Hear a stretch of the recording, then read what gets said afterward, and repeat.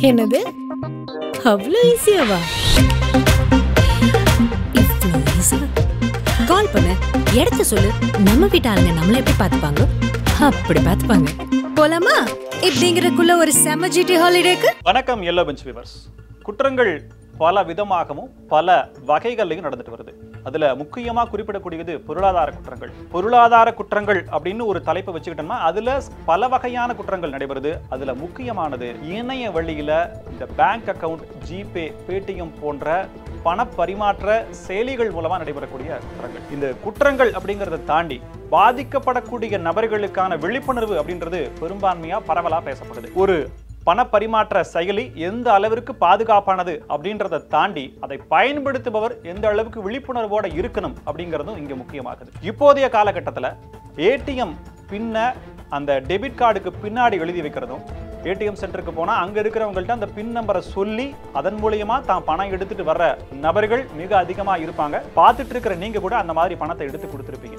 இது எந்த அளவுக்கு பாதுகாப்பானது? சில நாட்களுக்கு முன்னாடி உங்க கார்டில் இருக்கிற அந்த பதினாறு நம்பர் நாலு நாலு நம்பர் சொல்லுங்க அப்படின்ற வாய்ஸை பெரும்பான்மையினர்கள் கேட்டிருப்போம். இப்போ அதை கடந்து வந்துட்டோம். ஏன்னா எல்லாருக்கும் தெரிஞ்சிருச்சு. ஆனா குற்றங்களும் பரிணாம வளர்ச்சி அடைஞ்சிருக்கு. சில நாட்களுக்கு முன்பு ஜிபே மூலியமா அறுபத்தி ஐந்தாயிரம் ரூபாய் இழந்த ஒரு பர்னிச்சர் கடைக்காரருடைய அனுபவத்தை நம்ம வலைதளங்கள் மூலியமாகவும் டிவி சேனல்ஸ் மூலியமாகவும் பார்த்துருப்போம். இதுக்கு என்ன அடிப்படை காரணம்? ஒரு ஆப்பை பயன்படுத்துவதற்கான அனைத்து வழிமுறைகளையும் சொல்லி இது மிகவும் இயல்பானது ஈஸியானது சுலபமானது பாதுகாப்பானதுன்னு அரசால விளம்பரப்படுத்தப்படுது. வீட்டில் பணம் வச்சிருந்தா அது உங்களுக்கு பாதுகாப்பு இல்லை. நீங்க பேங்க்ல வைங்க அதுக்கான குறைந்தபட்ச வட்டி கிடைக்கும் அப்படின்னு சொல்லி சொல்லப்படுது.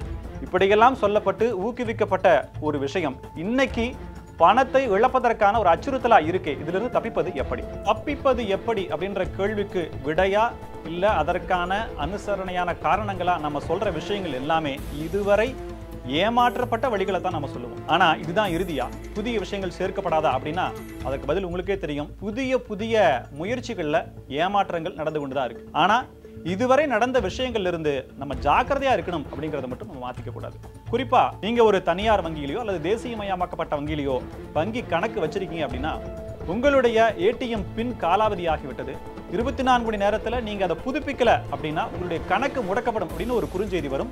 கூடவே ஒரு லிங்க்கும் வரும். அந்த லிங்க்கை நீங்க டச் பண்ணீங்கன்னா அதுல இருந்தா பிரச்சனை ஆரம்பிக்குது.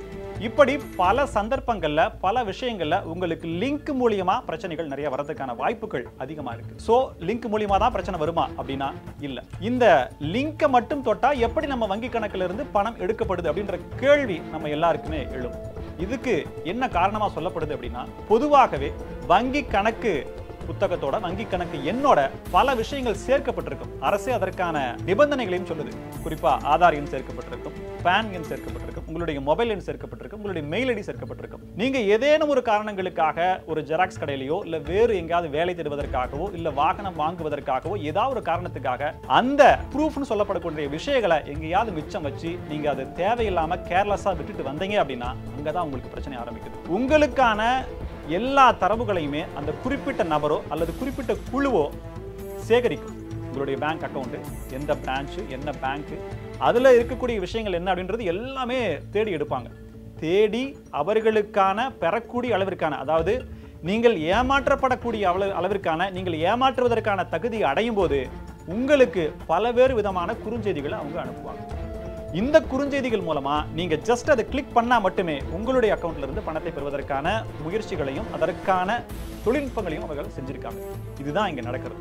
லிங்க் மூலமா ஏமாற்றப்படுகிறோம் அப்படிங்கறத தாண்டி அடுத்த முறை என்ன அப்படின்னா பண பரிமாற்ற செயலிகள் மூலமா ஏமாற்றப்படும் இதுல வந்து இப்படித்தான் அப்படின்னு சொல்ல முடியாத அளவிற்கான வழிகள் நிறைய இருக்கு. குறிப்பா சொல்லணும்னா பேடிஎம் ஸ்பூஃப் அப்படின்ற ஒரு ஆப் சமீபத்தில் அதாவது சமீபத்தில்னா ஒரு ஒரு வருடங்களுக்கு முன்பு எந்த அளவுக்கான ஒரு பிரச்சனை ஏற்பட்டுச்சு அப்படின்றது உங்களுக்கு எல்லாத்துக்குமே தெரிஞ்சிருக்கும். போலியா நீங்க பணம் பே பண்ண மாதிரியான ஒரு அந்த ஸ்கிரீன்ஷாட்டை எடுத்து கடைக்காரர்களுக்கு அதை காமிச்சு நான் பணம் பண்ணிட்டேன் அப்படின்னு சொல்லி சொல்லிட்டு பல வகையான பல ஆயிரக்கணக்கான ரூபாய்களை இழந்த கடைக்காரர்கள் இருக்கிறாங்க. இந்த மாதிரியான அங்கீகரிக்கப்படாத செயலிகள் மூலமா பண இழப்பு ஏற்படுவது ஒரு முறை இருந்தாலுமே பண பரிமாற்ற செயலிகள் மூலமாக உங்கள் பேங்க் அக்கௌண்ட் லிங்க் ஆகி இருக்கும்போது உங்களுக்கு ஒரு ரூபா அனுப்பிச்சிட்டேன் இல்லை ஒரு ரெண்டு ரூபா அனுப்பிச்சிட்டேன் அது வந்துருச்சான்னு பாருங்கள் தெரியாமல் உங்களுக்கு பணம் அனுப்பிச்சிட்டேன். நீங்கள் எனக்கு திருப்பி பணம் அனுப்பிச்சிருங்க. நான் ரொம்ப கஷ்டத்தில் இருக்கேன். நான் கூலி வேலை செய்கிறவன் எனக்கு அந்த பணத்தை திருப்பி கொடுங்கன்னு சொல்லி கேட்டு நீங்கள் பணம் அனுப்பினா உங்களுடைய பேங்க் அக்கவுண்ட் டீட்டெயிலை முழுவதுமாக எடுக்கக்கூடிய அளவிற்கான தொழில்நுட்பங்களையும் அவங்க பெற்றிருக்காங்க. ஸோ நீங்கள் பணப்பரிமாற்ற செயலின் மூலமாக பண்ணுறீங்க அப்படின்னாலுமே எந்த விதமான தேவையில்லாத குறுஞ்செய்தியோ அல்லது வேறு வகையான தொலைபேசியில் யாராவது அழைத்து பேசுனாங்க கூட நீங்கள் அட்டென்ஷன் பண்ணக்கூடாது. ஒருவேளை உங்களுக்கு தெரியாமல் யாராவது பணம் அனுப்பிட்டாங்க அப்படின்னா கூட அவங்க பணம் நமக்கு வேணாம். நமக்கு எதுக்கு அந்த அவங்க பணம்னு சொல்லி நீங்கள் நினைச்சா கூட அந்த பணத்தை திருப்பி கொடுக்கும்போது நீங்கள் அவசரப்படக்கூடாது. அருகில் இருக்கக்கூடிய காவல் நிலையத்திற்கு சென்று அவங்க ப்ரூஃப் எடுத்துகிட்டு வர சொல்லணும். இப்போ என்னன்னா எந்த அக்கௌண்ட்லேருந்து அவங்க பணம் அனுப்புறாங்க அவங்க யார் அப்படிங்கிறதுக்கான ப்ரூஃபை எடுத்துகிட்டு வந்து காவல் நிலையத்தில் நீங்கள் அந்த பணத்தை திருப்பி கொடுக்கணும் அப்படின்னு சொல்லி தான் காவல்துறையை எச்சரிக்கை விடுத்திருக்கு. இது எப்படி இருந்தாலுமே பொதுவாக இன்னொரு பொருளாதார நிபுணர்களுடைய கருத்து என்னவா இருக்குது அப்படின்னா நீங்க வீட்டில் பணம் வச்சிருந்தா அது கொள்ளை போவதற்காகவும் திருடு போவதற்கான வாய்ப்பு அதிகமாக இருக்கு அப்படின்னு தான் நம்ம பேங்க்ல வைக்கிறோம். அவர்கள் தங்களுக்கான அந்த பின் நம்பர் இன்னும் பாதுகாப்பு அம்சங்களை வெளிப்படையா வச்சுக்காம ரொம்ப பாதுகாப்பா வச்சுக்கணும். ரெண்டாவது எந்த லிங்க் வந்தாலும் எந்த மெசேஜ் வந்தாலும் தெரிந்த நபர்கள்ட்ட உங்க வீட்டில் இருக்க மற்றவர்கள்ட்டையோ இல்ல இன்னும் சொல்ல போனா பேங்க்லயே கூட நீங்க போய் ஒரு ரீசெக் கிராஸ் செக் பண்ணிக்கிறது மிக மிக சிறந்த ஒரு செயல். இன்னும் சொல்ல போனா ரெண்டு அக்கௌண்ட்டை வச்சுக்கிட்டு ஒரு அக்கௌண்ட்ல மட்டுமே நீங்க இது போன்ற அதாவது பணப்பரிமாற்ற பரிமாற்ற செயலுக்கு லிங்கையும் இணையதளங்களில் பரிமாற்றம் செய்யக்கூடிய வசதிகளையும் ஏற்படுத்தி வச்சுக்கிட்டு இன்னொரு பேங்க் அக்கௌண்ட்டில் நீங்கள் எந்த விதமான லிங்க்குமே வைக்காமல் பணத்தை போடணும்னா பிரான்ச்சுக்கு போய் நீங்கள் பணம் போடணும். பணத்தை எடுக்கணும்னா பிரான்ச்சில் போய் சலான ஃபில் பண்ணி எடுக்கணும். இந்த மாதிரியான பாதுகாப்பு வழிமுறைகளை வச்சுக்கணும். ரெண்டாவது அதிகப்படியான பணத்தை நம்ம பேங்க் அக்கௌண்ட்டில் வைக்கலாமா அப்படின்னு நிறைய பேர் கேட்பீங்க இதற்கு அரசாங்கமும் பொருளாதார நிபுணர்களும் தான் பதில் சொல்லணும். இறுதியாக சொல்கிறது என்ன அப்படின்னா நீங்கள் இப்படித்தான் ஸ்கேம் நடக்கும் இப்படித்தான் திருட்டு நடக்கும் இப்படித்தான் உங்கள் பணத்தை எடுப்பாங்க அப்படின்னு சொல்கிற வழிமுறைகள் இல்லாமல் பல வகைகளில் திருடுக்கான வழிமுறைகள் இருக்குது நீங்கள் எல்லா வகையிலும் ஒரு சிறிய சந்தேகம் இருந்தால் கூட நீங்கள் ஜாக்கிரதையாக இருந்துக்கணும். அப்போ தான் உங்கள் பணம் உங்ககிட்ட இருக்கும். நன்றி நன்றி. பத்திரிகைகளில் வரக்கூடியது எல்லாமே சரினா ஆனால் சரிஜா பானு தான் அதோட நேம் அவங்களோட ஒரிஜினல் நேம் கிட்டத்தட்ட ஒரு கோடி ரூபாய் பணமும் ஒரு பதினஞ்சு கிலோ கஞ்சாவும் அந்த வீட்டிலேருந்தும் ரெக்கவரி ஆகுது. முக்கியமாக நடராஜன் தான் மெயினான ஆள். நீங்கள் அவங்கள பார்த்து ஒரு பெர்மிஷன் கேட்டிங்கன்னா அவங்க ஓகே பண்ணிட்டாங்கன்னா நீங்கள் உங்களுக்கு ஒரு அறை கிடச்சிடும் பிரச்சனையே கிடையாது. நடராஜனும் சசிகலாவும் கல்யாணம் பண்ணது கருணாநிதி அவர்கள் தான் வந்து தலைமையில் நடத்தி வச்சது. உள்ள சட்டசபைக்குள்ளே ஜெயலலிதாவோட முடியை பிடிச்சி இழுத்து அது ஒரு பெரிய ஒரு விஷயம் நடந்தது. நான் திரும்பி இந்த அசம்பிளிக்குள்ளே வருவேன். ஆனால் வந்தால் சிஎம்மாக தான் வருவேன்னு சொல்லி பெரிய சேலஞ்ச் பண்ணிட்டு தான் வெளியிலே வந்தாங்க. எல்லாத்துலேயுமே ஒரே கண்டென்ட் தான் பேசுவாங்க ஜெயலலிதா. அப்போ அவங்களுக்கு பேச்சு திறமை இல்லை அப்படின்னு அர்த்தம். அந்த ஸ்பான்டேனியஸாக பேசுகிற திறமை கருணாநிதிக்கு இருந்த மாதிரி திறமை அவங்களுக்கு கிடையாது. அம்மா ஃப்ரீயாக இருக்காங்களா வரலாமா அப்படின்னு கேட்பாங்க. அப்போ அவங்க ஒருவேளை இல்லை நீ வர வேணாம் அப்படின்னு எதையோ ஒன்று கொளுத்தி போட்டாங்க ஏதோ பிரச்சனை அப்படின்னா இவங்களுக்கோட வேலைக்கும் பிரச்சனை ஆளை மாற்றிடுவாங்க ஸோ இந்த மாதிரி இருக்கும்போது சசிகலாவை மீறி ஒரு விஷயத்த நேரடியாக சொல்லிட முடியாது. நிறைய பேர் எதிர்பார்க்குற மாதிரி சசிகலா பயங்கரமான திறமசாலி அப்படின்னு சொல்கிறதும் ஒரு பிம்பம் தான். அதுவும் உண்மை கிடையாது. உண்மையாகவே அந்த திறமசாலி யாருன்னா நடராஜன். எப்போல்லாம் இவங்க உள்ளே போகிறாங்களோ உடனே ரெட் லைட்டை போட்டு விட்டுருவாரு வெளியே.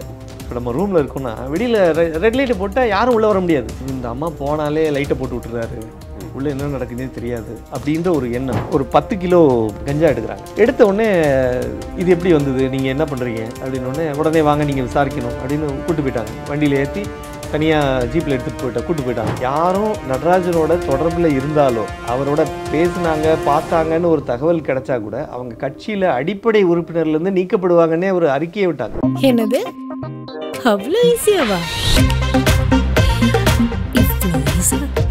கால் பண்ண. இடத்த சொல்லு. நம்ம வீட்டாளுங்க நம்மளை எப்படி பார்த்துப்பாங்க? அப்படி பார்த்துப்பாங்க. போலாமா? இப்படிங்கிறக்குள்ள ஒரு செம ஜிடி ஹாலிடேக்கு